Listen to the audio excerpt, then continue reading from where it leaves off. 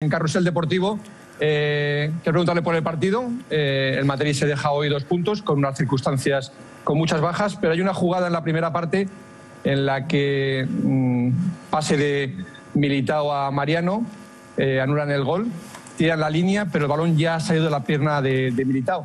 No sé si usted ha visto la imagen y si tiene algo que decir. No, no, no, como siempre, no, no tengo que decir nada. Yo creo que el árbitro está ahí para, para decidir lo que si hay fuera de juego o no. Bueno, eh, y ya está. Eh, nosotros yo creo que hay que felicitar también a, a los jugadores porque no, no, ha sido fácil para nosotros. Es verdad que bueno, defensivamente estuvimos muy bien, nos ha faltado ofensivamente algo. Eh, pero bueno, es, es, así. Nosotros cuando ganamos tenemos que seguir y ahora, bueno, tenemos que seguir de la misma manera porque esto queda muchos puntos y, es lo que vamos a hacer. Cadena Cope, Miguel Ángel Díaz. Hola, mister. Buenas noches. Miguel Ángel Díaz de la cadena COPE. Hola. Decía hace unos días que sentía que su equipo estaba en una situación límite en lo físico. Hoy Modric ha acabado estasiado, Kroos no ha jugado, Benzema ha sido suplente. ¿Cree que va a haber tiempo de salir de esa situación límite Sí. en lo físico en el final de temporada? Sí, sí, sí, sí, vamos, claro, claro que sí, porque además es... Cuando vosotros de todas formas estáis pensando siempre en, lo que en una palabra, eh, nosotros límite, nosotros le vamos a vamos a seguir, sabemos que límite no, no tenemos límite nosotros, Eh, algo vamos a hacer. eh, y, y vamos a seguir peleando, pase lo que pase hasta el final de, de temporada. Entonces el límite lo vamos a poner más arriba. El techo no hay, aquí en este equipo no hay. Anímicamente estamos bien. eh, hoy, bueno, ha sido esta circunstancia del partido, pero ya está. Eh, tenemos que descansar bien y seguir adelante.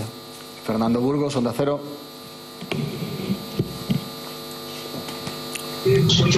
¿Qué tal, Zinedine? Buenas noches. Directo para el transistor de Onda Cero.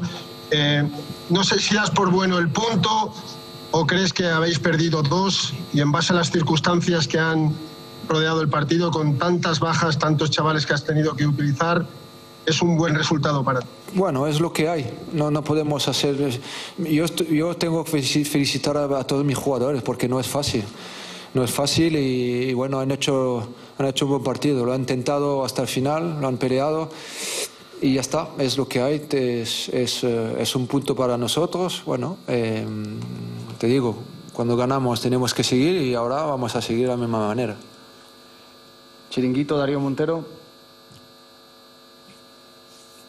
Juanfe. ¿Qué tal? ¿Me oís? ¿Me oís bien? Sí, hola. Hola, mister. Buenas noches.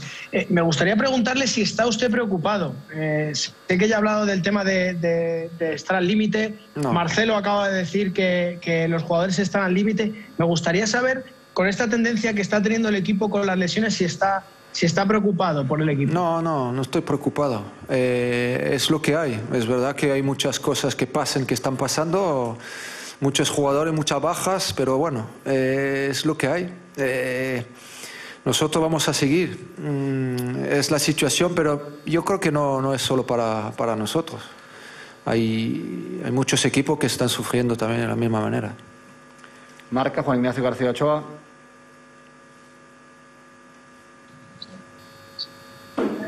Hola, Zinedine. Hola. Buenas noches. Yo quería preguntarle por la actuación de, de los canteranos, de Chus, que ha jugado el partido entero, de Antonio Blanco, de Arribas. Sí. Eh, ¿Qué le ha parecido y si les ve como potencialmente jugadores del primer equipo de cara al futuro? Si les ve en la Sí, primera plantilla Claro, años. claro que sí, que tiene, que tiene mucho futuro. Son, son muy buenos, son jugadores muy sólidos, muy, muy serios. El partido de Chus ha sido, ha sido muy bueno y jugó con, con, con carácter. Me alegro por él. Anto- Antonio entró también. Agui lo sabemos, lo conocemos. Claro, todos los jugadores que los canteranos eh, siempre están ahí eh, y me alegro por ellos porque tienen futuro y por todos los jugadores que jugaron esta noche, de todas formas. Eh, lo hicieron, lo lo- por lo menos lo hemos intentado. Eh, ¿Sabes? Eh, la, la derrota es eh, rendirse, el resto es camino. Todo el resto es camino. Última pregunta, Diario As, José Antonio de la Rosa. No, no se oye. José Antonio, abre el micrófono, por favor. A ver, ¿ahora? Sí, ahora sí. Hola, buenas noches. Eh, quería preguntarle, ahondando en, en el tema de la cantera, si se sabía que iba a haber jugadores que tendrían que jugar y que ayudar hoy a un equipo físicamente mermado, eh, ¿por qué no se decidió ayer que, que, no jugaran tantos minutos con el Castilla?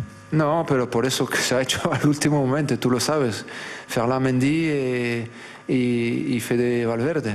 No, no, no, es sobre la marcha. Decimos, había que, bueno, a lo mejor anticipar un poquito para decir puede pasar algo, sí, pero bueno, al final esto es el fútbol, no, no podemos, ya está. Eh, y, y, jugando así, de, ayer, por ejemplo, Antonio Blanco, eh, bueno, entró fenomenal. Entonces, bueno, no pasa nada. Ya hay que pensar el próximo partido. Gracias, buenas noches. Muchas gracias. Encomiable la labor de los canteranos una vez más en esta temporada, que se está poniendo cuesta arriba con el tema de, la, de las bajas y ahí está la cantera para lo que haga falta. Eh, el límite este equipo no lo tiene, lo ha demostrado en los últimos años Zinedine con el bloque de, de esta misma plantilla. Evidentemente orgulloso por la pelea, el carácter y la solidaridad del equipo en momentos sobre todo sí. difíciles y que queda mucho. Es el discurso de Zidane de la previa del partido claro. contra el Huesca y es el discurso de Zidane claro. Después de 15 partidos invictos claro, entre Liga y Champions. Porque el equipo con can, tal cantidad de adversidades, eh, reclutando a chavales de, de, la cantera que han jugado a Chus, ha hecho un partidazo, por cierto, y luego han ido saliendo Blanco, Arribas y, y compañía, pues el equipo ha competido. No ha sido brillante, eh, evidentemente, pero ha competido eh, con, con orgullo, con carácter, con casta, lo que ha destacado el míster que además ha dicho que defensivamente, por cierto, en, en, la zona en la que había más bajas, defensivamente el equipo ha estado muy bien y se ha defendido con honor. Le ha faltado presencia y balón en ataque, pero bueno, eh, esto podía pasar. Eh, no se ha perdido un partido que tenía mucho peligro, se debía haber ganado. De hecho, se debió ganar con el gol eh, anulado a, eh, injustamente a, a, Mariano, pero yo creo que el balance que hace Zidane es de que esto no ha terminado, ni mucho menos. ¿Cómo va a terminar? Si no terminó, insisto, y lo dijo él, cuando estaba el Athletic, el equipo a 12 puntos del líder, eh, pues fíjate ahora que está a tres, ¿vale? quedan menos jornadas, pero hay du duelos directos, va a haber más fallos, él, va a recuperar a más gente a partir del próximo miércoles, esperemos que haya otro partido el miércoles en, en Cádiz, y a mí me parece que saca, sale con orgulloso de sus jugadores, de su plantilla en general y de lo que es la institución, con la ayuda de la cantera, de todo lo que han dado hoy estos chavales. Al final hemos dicho estas semanas, ¿no? Eh, para el equipo, este tipo de, de adversidades y circunstancias, sobre todo las bajas, une. Eh, ¿no? Eh, ante la dificultad, lo decía Modric también hace poco, en la previa de Champions, ante la dificultad eh, se une el equipo. Sí, ha crecido, se crece el, el, equipo, es muy complicado lo que está haciendo esta temporada el equipo de Zidane. Ha pasado a las, semifinales, de Champions, eliminando al, Liverpool, ha ganado el Clásico. Hoy con un montón de bajas ha puntuado. Es verdad que queríamos los tres puntos, pero las circunstancias a veces no te lo permiten y aún así el equipo ha respondido con canteranos, con jugadores que físicamente pues, llevan una trayectoria en el último mes dura y aún así pues el equipo compite, es verdad que en la segunda mitad ha faltado fuerza arriba, frescura, pero es que eh, si echas un ojo a los jugadores eh, físicamente más portentosos del equipo, Valverde, eh, Mendy, Sergio Ramos, Barán, Nacho, son los que están Carvajal. fuera, están Carvajal. Entonces, hay que darle muchísimo mérito al, al, Real Madrid y ante un rival que se jugaba muchísimo y que te lleva al límite físicamente, como es, el, como es el Getafe. Yo creo que ha respondido bien el equipo.